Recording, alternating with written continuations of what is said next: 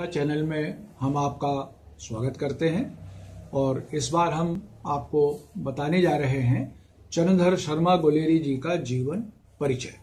तो चलिए शुरू करते हैं उनका परिचय।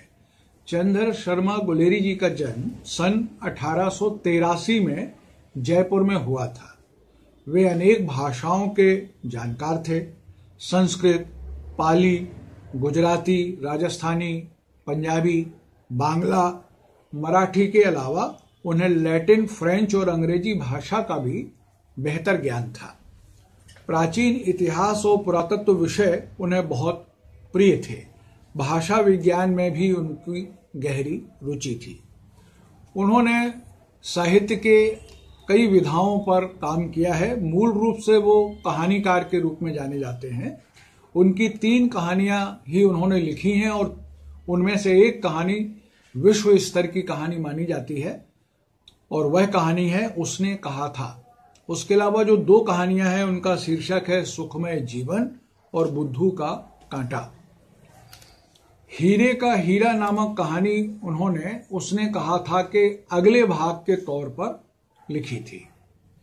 उन्होंने केवल तीन ही कहानियाँ लिखी हैं।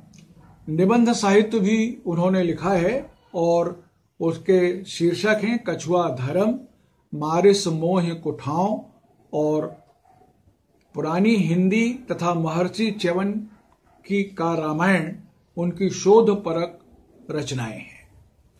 20 वर्ष की उम्र के पहले ही उन्हें जयपुर के वेधशाला के जीर्णोद्धार तथा उससे संबंधित शोध कार्य के लिए गठित किए गए मंडल में चुन लिया गया था।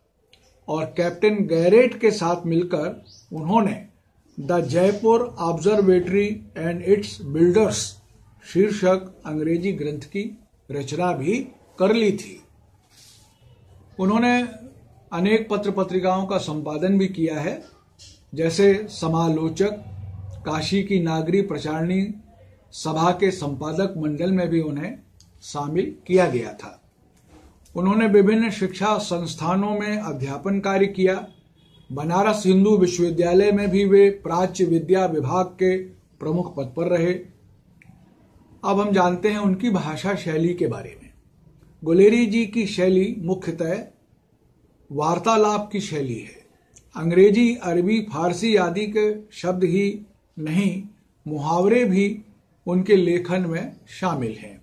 वे अपने लेखन में उद्धरण और उदाहरण बहुत देते हैं, जिससे उनकी रचना को ठीक तरीके से समझा जा सकता है।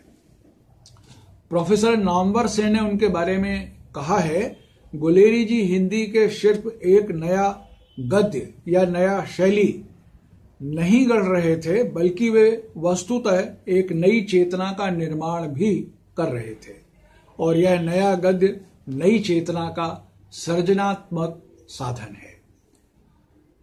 गुलेरी जी को कई प्रकार के सम्मान भी मिले। उन्हें इतिहास दिवाकर की उपाधि से सम्मानित किया गया था।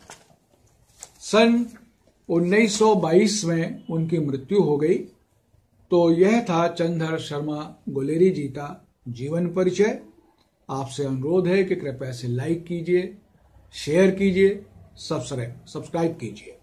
अगर आपके मन में कोई प्रश्न हो तो उसे हमारे कमेंट बॉक्स में डालिए। हम उसका उत्तर अवश्य देंगे। आपका बहुत बहुत धन्यवाद।